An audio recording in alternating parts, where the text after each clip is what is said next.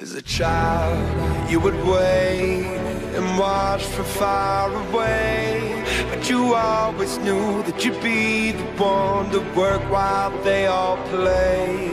And you, you'd lay awake at night and scheme of all the things that you would change, but it was just a dream. It's a big privilege for us to play against the NBA team and and when it's Sacramento Omri Casspi team, it's even better because he's one of us, he's from Israel. Uh, and you know, as a young kid starting to play basketball, it's, this is where you want to go. When he was the first one to make it, and you know, everybody want to get there as a young basketball player.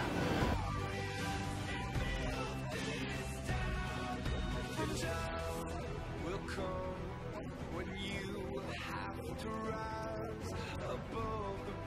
rest and prove yourself. Your spirit never dies. Farewell, I've gone to take my throne above. Don't weep for me, cause this will be the labor